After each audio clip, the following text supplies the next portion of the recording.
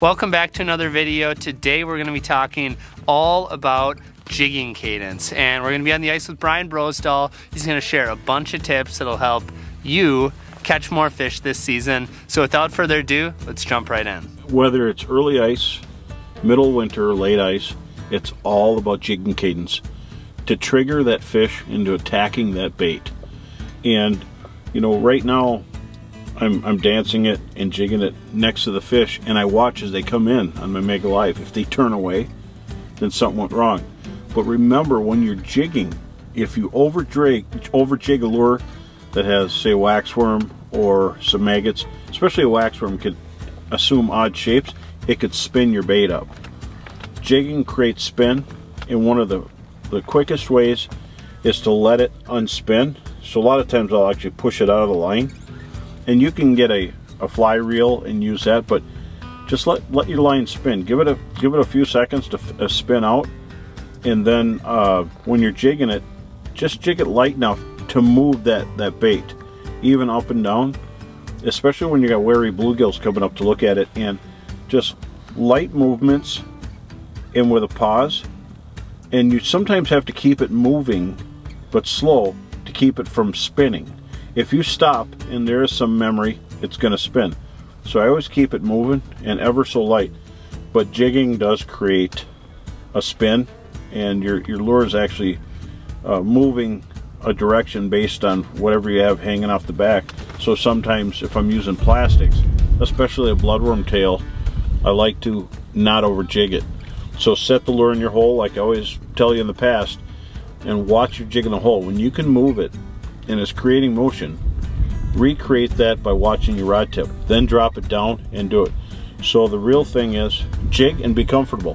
Whether you're chopstick or you're holding it like a bike grip, you want to keep it right at your eye level where you can see it and just move it real slow. And when the fish comes up, sometimes an uptick bite will lift that rod tip. Sometimes it'll pull it down but these these rods are really light. This is St. Croix tungsten tamer, and this is in the CI. I love it. And I've got two pound test. Lighter the line, the less memory. One to two pound sunline is so strong compared to anything else in the market, but it's also fluorocarbon, so it has a better sink rate.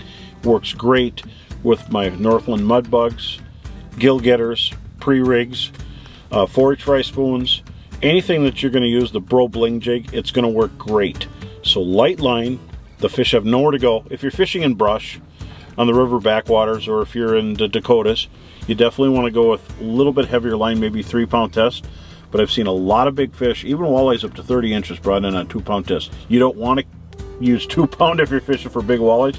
But if you're fishing panfish, you're going to get more strikes and your lure's going to behave the way you want it. Jigging cadence is everything but you also got to have the right size line and the right size and weight of rod. Jigging cadence is extremely important for me. It might even be number two to location, which is, you know, just literally having fish underneath your hole, which tends to be sort of important when you're trying to catch fish. But Brian is one of the better jiggers that I know for sure, and he's got a few more jigging tips for you right now. So a lot of times I'll target fish and I'll work them. If you see me hanging onto the reel like this, I'm slow reeling as I'm jigging and that's oh, that's how I'll get some of the fish to, to strike.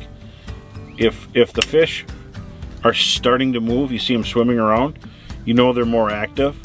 You might have a, a the, the time of day that they're deciding to feed and just reel it in. A lot of times when you use Northland tackle, you could set the hook just by reeling. Their hooks are so sharp that they should pierce the skin of a panfish. Just a little baby there.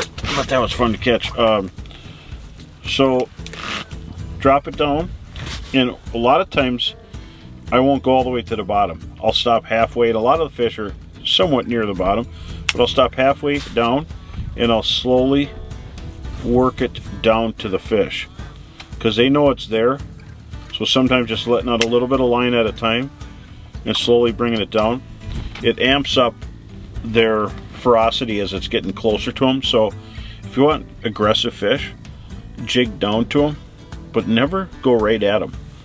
And you'll spook, spook fish if you jig and pull them out of a school of fish, it scares the rest of the school. And if you play it in fast motion on a, on, on a camera, looks like you blow up the school. So don't blow up the school.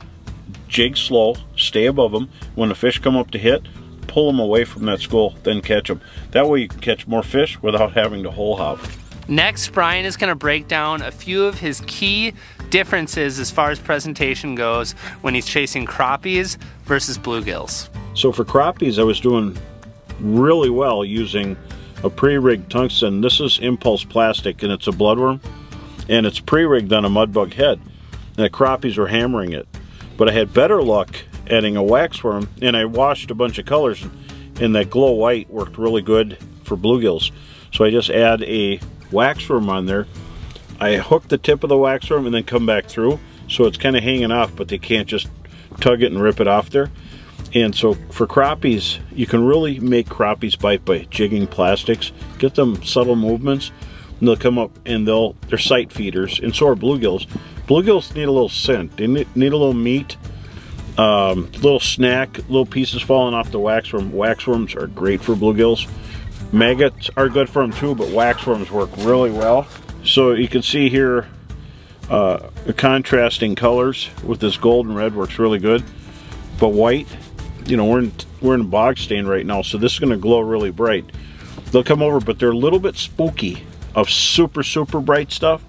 So a lot of times when they come over, a hold it still, they'll eat it, but they can find it fast. They can see it from farther away. I'm seeing fish activate from much farther away.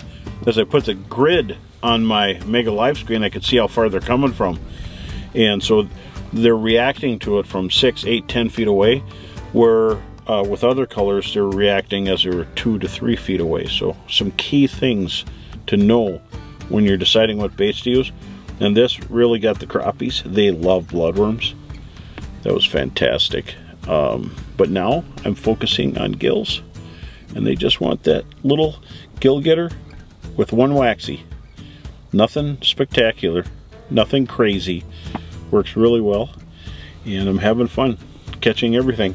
For me, the recipe for success when you're trying to catch panfish is number one, finding them. Number two, trying to get them to bite. And then number three, you actually have to land the fish. And a big part of that is bite detection, and that's what Brian's gonna talk about right now. The real thing when you're fishing is detecting bites. And bites come in many different ways. There's the down bite, which pulls the rod down. There's the, the up bite, where it just lifts a little bit.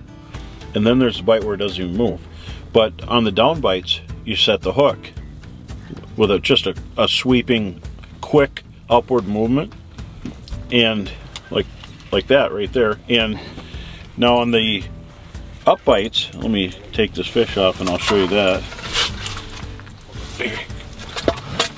So a little live display there, not a big one, but it, it so on the up bites, we get it down there so maybe I can catch one live with an up bite So a lot of times on the upbites, it'll lift up. Well, most of the time, I'll I'll feel that he's there and then set the hook, or start reeling it. You know, in, in the open water, you've heard me say that I set the hook with my fishing reel, because if you're just jerking it, you don't know if they're slack in your line. Well, when you're vertical, you reel it tight and because it's Northland tackle, the hook is going to pierce its mouth. So when that fish comes up, I'm going to feel he's there and then reel it tight or sweep. And then of course, how do you feel when the rod doesn't move at all? A lot of times you can sense something different with your line. The line actually will float a little bit or some kind of strangeness, but usually, you know, with my tungsten tamer here, uh, St. Croix rod, all the rods I can see bites but sometimes it's just a change in your line like something a little bit more vertical something uh, a lift up just all line has memory because it's that's just the nature of the game. There it goes oh he came off by the hole. Um, so the real real thing is to remember that movement or no movement is to lift till you feel the fish and then sweep. Uh, a jerk like this, if you just sweep jerk it, sometimes you're you're pulling the hook right out of the fish. But a nice slow move buries that hook and seats it in there. A jerk pops it out of its mouth sometimes.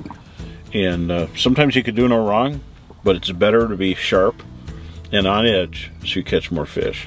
Well, that's about all we got for you in this video. Special thanks to Brian for sharing some really good tips. And if you enjoyed this video and you learned something, make sure to hit that little red subscribe button down below. So we have a lot more content coming this winter. And until then, we'll see you in the next one.